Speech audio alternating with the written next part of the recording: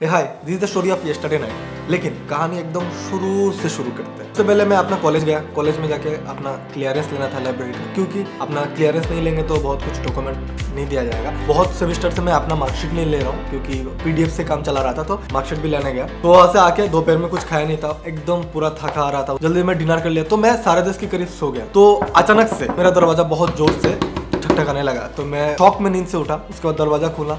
पूछा, क्या हो गया? आग लग गया। और भाई साहब, इतना गहरा नींद में था मेरा इस तरफ़ से, जो खिड़की देख रहे हो, इस तरफ़ से दिन जैसा रोशनी हो गया था। मेरे को पता ही नहीं था। मैं दौड़ के जाके देख रहा हूँ, बाहर से आग लगा। और इस तरफ़ से, खिड़की के बाहर तरफ़ से एक मस्त बांजी रोप लगा हुआ जिसमें मैं अपना चड्डी सुखाता हूँ। भाई साहब, जैसे मैं खिड़की खोल के चड्डी पे हाथ लगाया, इतना कस के मेरे शरीर में आग का हिट लगा, मेरा नींद गायब।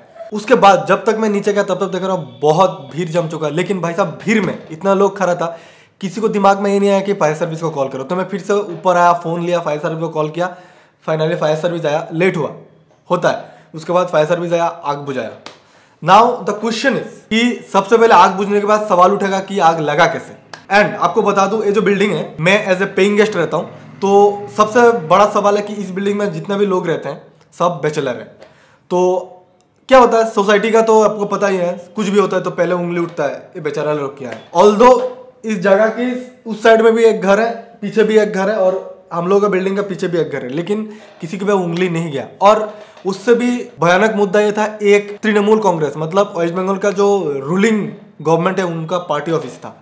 अब पता नहीं पॉलिटिकल इशू भी हो सकता है I don't know I don't know लेकिन भाई साहब उंगली हमें लोग पे उठ रहा था तो मैं जब तक नीचे गया ए, मतलब ऐसे लोग बोल रहे कि आप लोग सिगरेट पी के नहीं ना फेंके। तो वो लोग बांग्ला में बात कर रहे थे मेरे को तो पूरा समझ में आ जा रहा था कि वही लोग बोल रहे हैं कि बेचलर लोग ही किया होगा, सिगरेट फेंके फेंका होगा। अभी मान नहीं रहा है।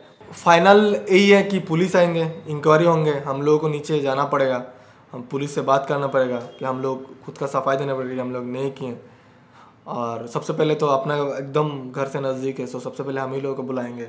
एंड देखो आगे क्या क्या होता है I let you know everything तो कंक्लूजन में मैं ही बोलूँगा कि बैचलर होना बहुत बड़ा पाप है. द एंड मैं एक ही बात बोलूँगा अपने सोसाइटी को. हाई सोसाइटी अपने आसपास जो भी भसड़ फैलता है, अगर उसके आसपास कोई बैचलर रह रहा है, इसका मतलब वो नहीं कि वो क्या है. उसकी जड़ में जाओ, पता करो इंक्वायरी करवाओ पुलिस से, तब बोलो. तो एट द एंड मैं यही बोलूँगा कि अगर आप बैचलर हो तो सावधान रहे, सतर्क रहे, गलती कोई भी करे, उंगली आपकी तरफ़ उठ सकता है. ये अच्छा हुआ, एक इंसिडेंट हुआ तो मेरे को भी थोड़ा एहसास हो गया कि अगर कुछ भी होगा तो मेरे तरफ़ मतलब अपने बिल्डिंग में जितना बैचलर होता है, उनकी तरफ़ उंगली उठ सकता है। तो और हम लोग थोड़ा बच करेंगे चलो बाय ड्रॉप